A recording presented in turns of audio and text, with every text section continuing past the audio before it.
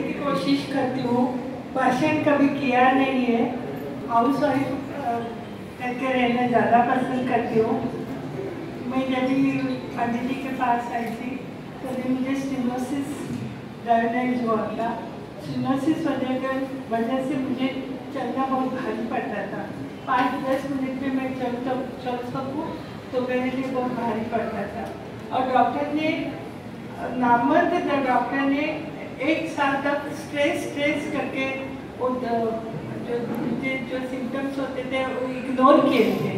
और जब एक मैं बड़े डॉक्टर का नाम नहीं लेना चाहती हूँ, उसने मेरा न्यूरोलॉजिकल ऑपरेशन का तैयारी किया। मैं बोली, मैं, मुझे नहीं ऑपरेशन करना। ऑपरेशन नहीं करना तो क्या करना?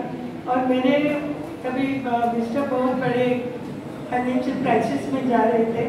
बहुत काम में व्यस्त थे। किसके साथ शेयर करना भी समझ में नहीं आता था।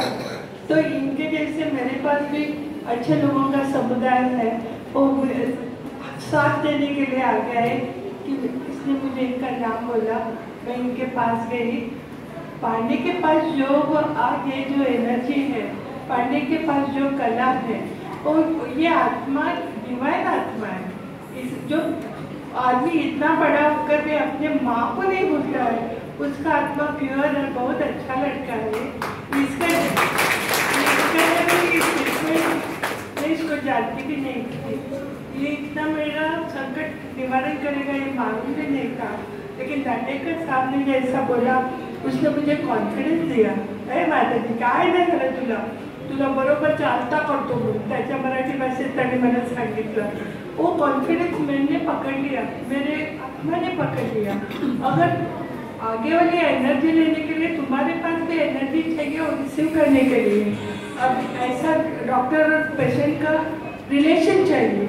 और एट द सेम टाइम इसका स्वभाव, इसका जबान इतना मीठा है और न तो विश्वास तैयार करता है, लेकिन एक रिश्ता तैयार करता है। आज उसने मेरे को माँ करके जो सम्मान दिया है सब लोगों के सामने इतने बड़े होशियार और एमिनेंट डॉक्टर की माँ बनने के लिए भी भाग्य लगता है। तो मैं उसके लिए करूँगी कि उसका उसके मन में जो कामना है जो वो चाहता है भगवान उससे उसको ज़्यादा देते उसके फैमिली का सब अच्छा करे। बायकोला प्रेम करा।